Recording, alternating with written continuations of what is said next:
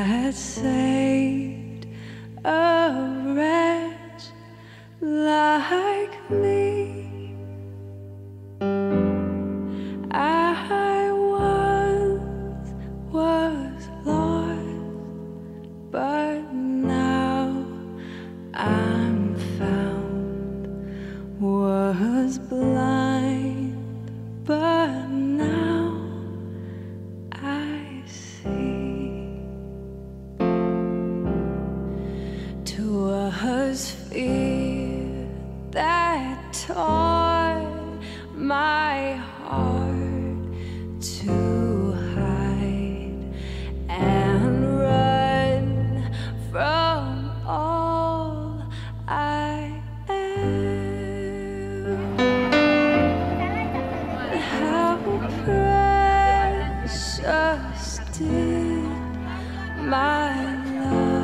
Tous ceux qui travaillent avec nous, ils sont co-participants, ils sont co-créateurs de cette pelle que le bon Dieu nous donne.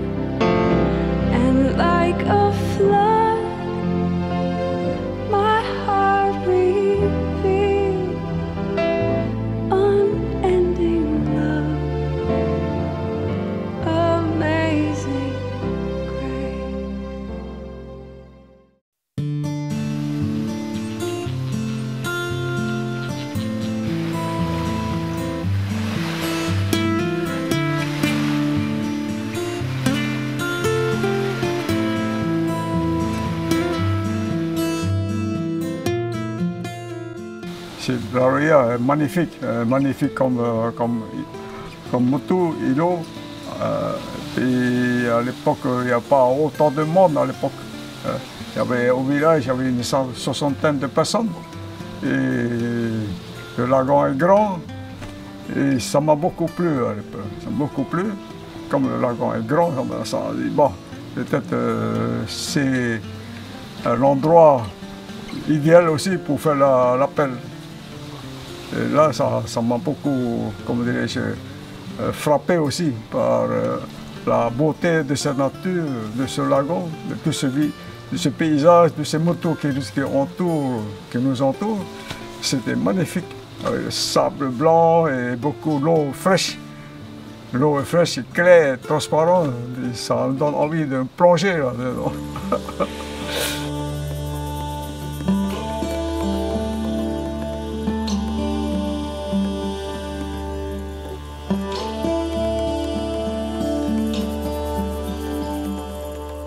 Quand j'avais pensé venir à Raroya, j'avais pendant une séance d'adoration à l'église, j'avais demandé à Jésus, Seigneur Jésus, je te demande la permission de, de pouvoir faire la femme, une femme pèlère à Raroya. Et à partir de ce jour-là, tous les obstacles étaient aplanis et finalement le gouvernement a donné l'autorisation de venir, une concession maritime.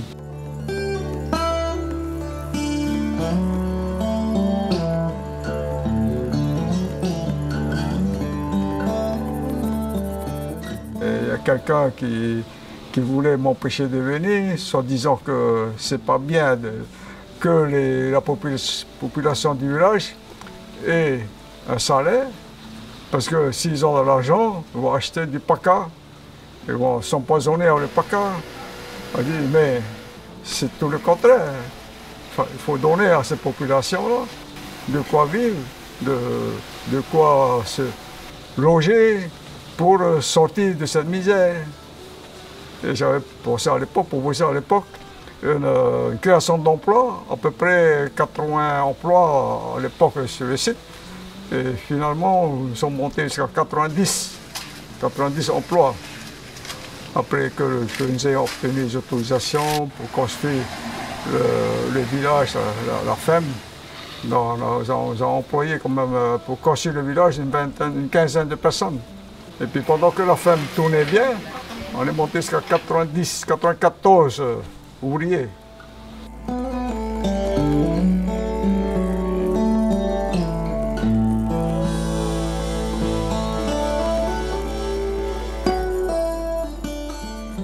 Pour la première fois, j'ai vu les maisons délabrées, toitures euh, tout et les gens pouvaient à peine dormir dedans.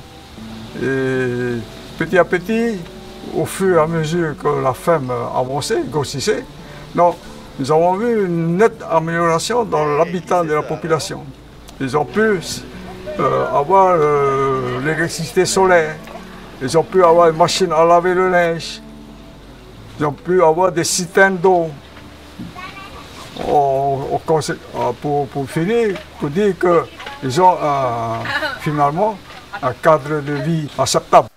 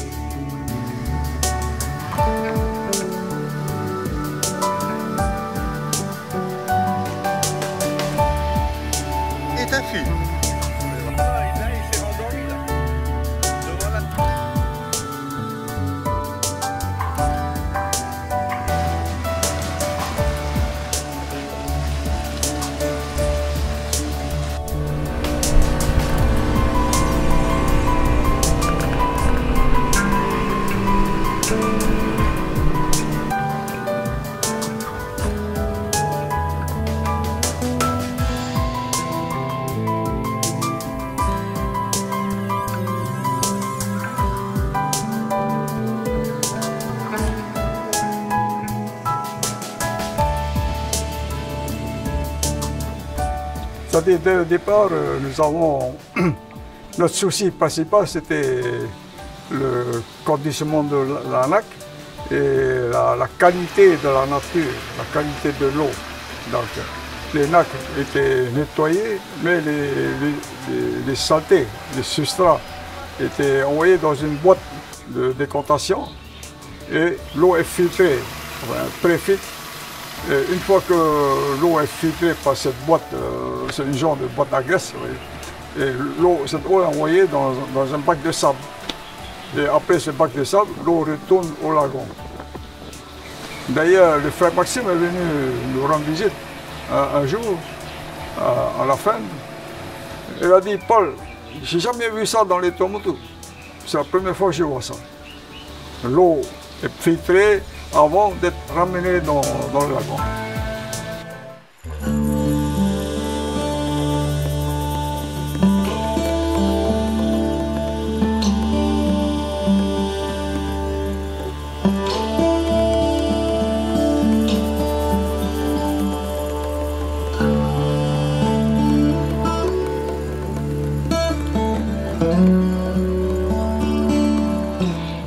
Toujours cru que le Seigneur euh, est écouté? Ben oui, du moment où nous avons l'espoir, l'espoir de réussir, et nous avons confiance, et on demande aussi au Seigneur de, nous aider aussi. hein. On ne demande pas au Seigneur de donner beaucoup d'argent, mais au moins qu'on puisse travailler, faire vivre notre famille, faire euh, donner du travail aux ouvriers, à ceux qui n'ont pas de travail. Il, donne aussi à chacun de nous aussi, chacun à son échelle, hein, la possibilité de réussir à, quel degré, à quel degré, ben, c'est le Seigneur, qui donne. hein. Comme je dis, euh, le proverbe chinois, ne porte pas un chapeau plus grand que ta tête. Tu ne peux pas le porter, tu ne verras rien après.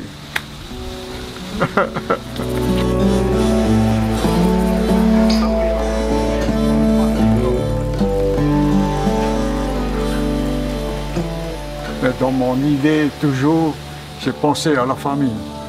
Donner quelque chose à mes enfants, à ma famille, euh, qu'ils puissent vivre, euh, avoir ce qu'il faut pour vivre.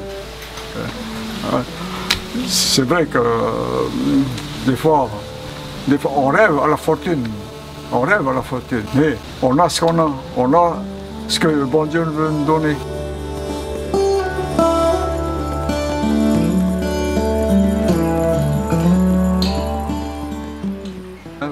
Petit avec le Seigneur. Là où le Seigneur veut nous mettre, c'est là qu'il faut accepter.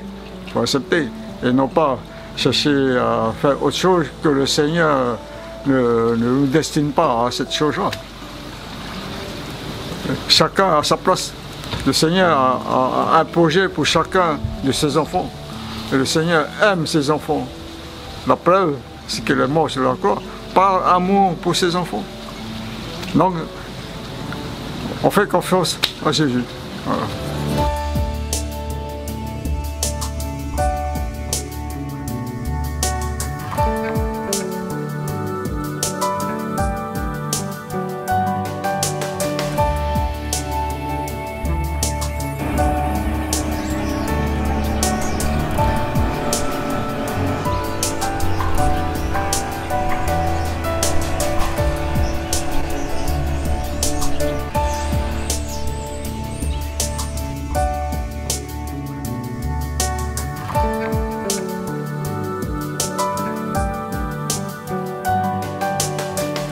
Je suis qu'une petite poussière, une petite poussière dans la création. Donc, ce que je fais, si je fais de moi-même, souvent j'ai remarqué que je ne réussis pas. Si je faisais selon ma propre volonté de moi-même, ça ne réussit pas. Si on le fait avec le Seigneur, là, on réussit. Oui, persuadé de ça.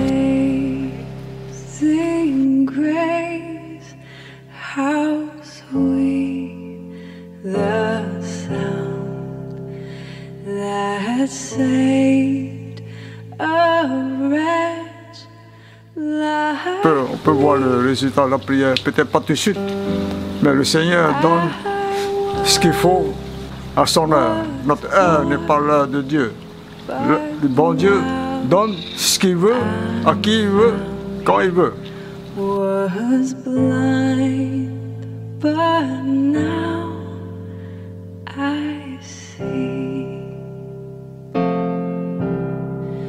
Twas fear Seigneur, regarde, il voit la race des hommes. Dieu veille sur ceux qui le craignent, qui mettent leur espoir en son amour, pour les délivrer de la mort, les garder en vie au jour de famine.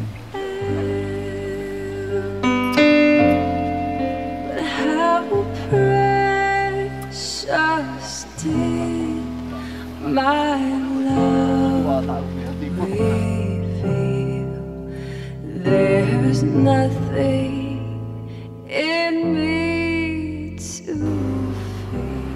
Prétendons au Seigneur les biens que nous avons reçus de lui. Nous ne possédons rien en effet qui ne soit un don du Seigneur et nous n'existons que parce qu'il le veut. Que pourrions-nous considérer comme notre, puisque en vertu d'une dette énorme et privilège, nous ne nous appartenons pas, car Dieu nous a créés et nous a aussi rachetés. Rendons grâce donc, rachetés au grand prix, au prix du sang du Seigneur. Nous ne sommes plus des choses sans valeur. Rendons rendons au Seigneur ce qu'il nous a donné. Donnons à celui qui reçoit en la personne de chaque pauvre. Donnons avec joie pour recevoir de lui dans l'allégresse comme il l'a promis. Nā reiro tau, tau para whem hare rā, ah, e hitu rā i te whem tau tarawe rā wau. Me hio wau roto tara para whem tau rawe rā mai, e te, me tā eri pē rā wau, tā eri pē para whem. Me te are rā mo pia patro, tā mo pia atere, tā mo pia nala tu pūra mo pia rohipo, ah, patro ia. Tō tauhi o rā ia rātou, ia parau nā o e ho e parau, e whāro i o me pē o e. Ki rea pē tau iau ia trapa te, te patro tau rau ni, ja? Kai o poli. ja? Me ti te mo patro, tipu e whāro i o pe oi whāro ia mai tā oe. Ia oe te miro oe te oe rā, e ia, ia matara mai tā oe hare rara wei upa tō pai, no oe o e tā oe, e tō tā mo whera e tō ara na muri au. Rai, o o oe o o tō patro. Ça fait parce que 10 ans, 10 ans, j'ai délégué tout à mes enfants. C'est Patricia et Bruno qui s'occupent de leur famille.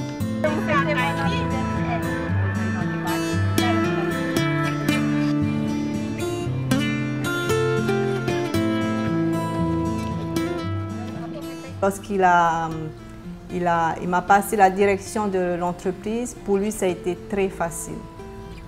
Il ne s'est jamais attaché au pouvoir et lorsque je vois il y a des affaires, euh, des disputes familiales euh, ici à Tahiti, parce que souvent le papa euh, qui a fondé une entreprise, souvent il s'accroche. Mais là, il y a 15-16 ans, se détacher de, de cette entreprise, ça a été très facile pour lui. Donc, euh, moi, je l'admire. Pour moi, c'est mon mentor, c'est mon guide. Et il m'apprend à, me détacher des choses matérielles, de me détacher euh, de l'argent, du pouvoir, de, des richesses matérielles. Et euh, même en ville, tout le monde le connaît en ville, mais il ne prend jamais la grosse tête.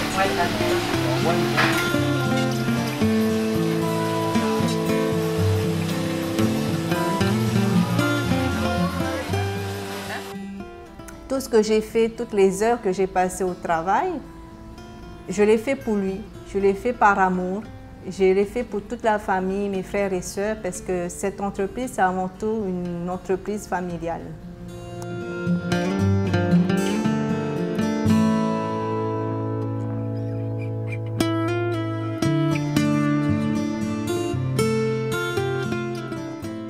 Pense que je suis une enfant bénie, euh, baignée dans l'amour de mon père, de ma mère et surtout dans l'amour de Dieu.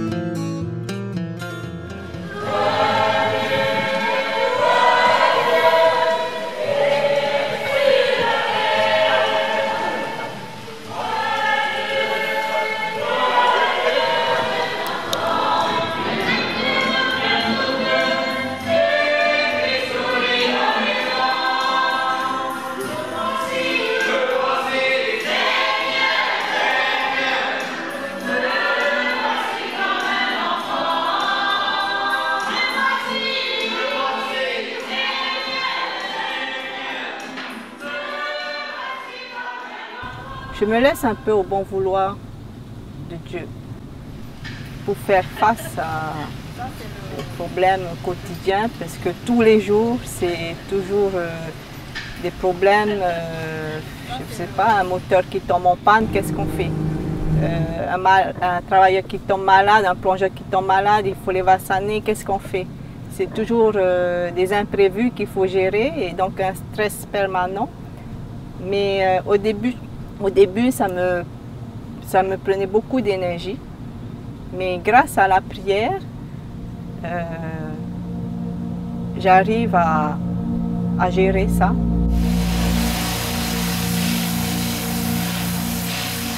Papa a eu beaucoup d'influence sur ma façon de gérer les affaires.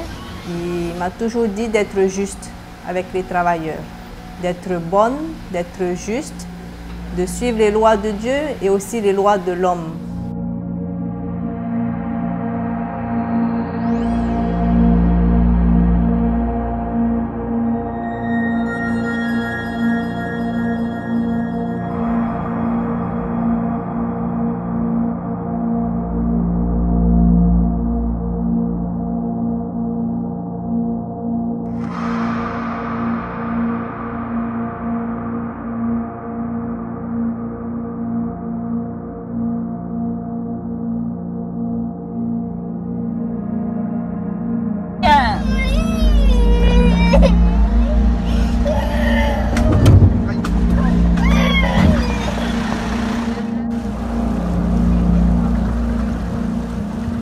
Lorsqu'on avait des difficultés à rembourser les banques, etc., euh, il m'a toujours dit la priorité est aux travailleurs.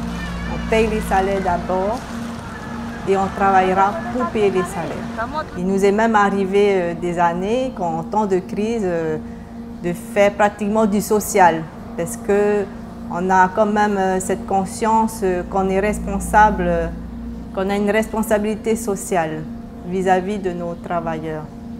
Parce que lorsqu'on on a conscience que lorsqu'on embauche un travailleur, on permet à une famille de se nourrir. Une famille, c'est quatre personnes.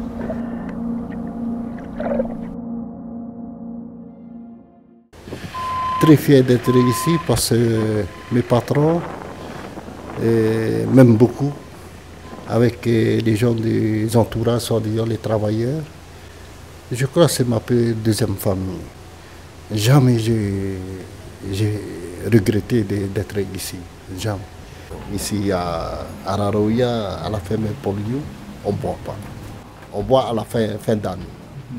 Et de côté, je suis très content parce qu'à la fin du mois, il y a une belle quelque chose sur le compte. J'ai connu beaucoup de patrons. Et là, il y a une différence entre Paul Yu parce que lui, c'est côté business et côté religion. Il prend les deux chemins. Les autres patrons, j'ai jamais vu, jamais vu ce truc-là. On dirait c'est côté business, business, business. Il n'y a, hein, a pas côté seigneur.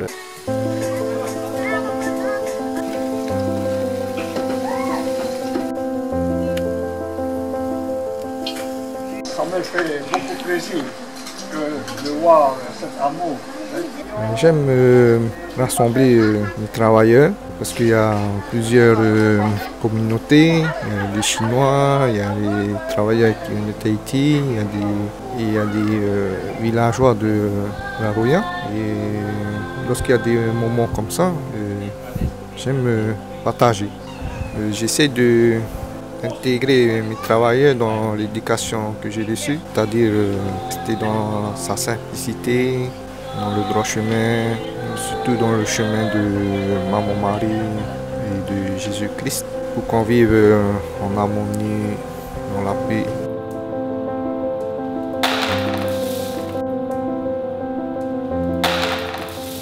Nous connaissons trop bien la valeur des pelles. Derrière chaque pelle, il y a des travailleurs et les familles. Il y a le visage, le sourire, il y a des difficultés, nous prions beaucoup pour nos lagons et nos nacres.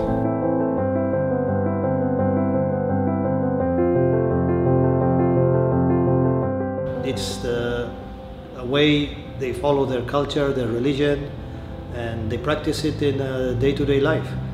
And as a result, uh, you could see the workers' dedication to the uh, uh, family as well as uh, their uh, support to the workers.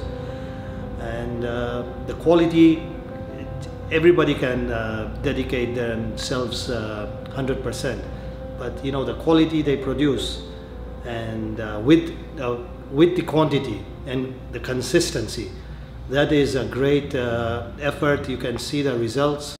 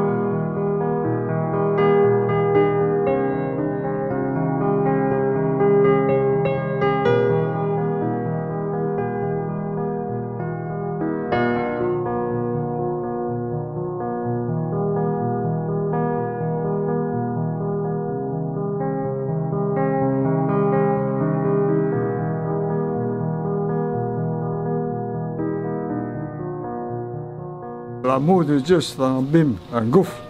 La miséricorde de Dieu, c'est un gouffre sans fond. Non, tu peux te plancher là- là-dedans et le bon Dieu sera content.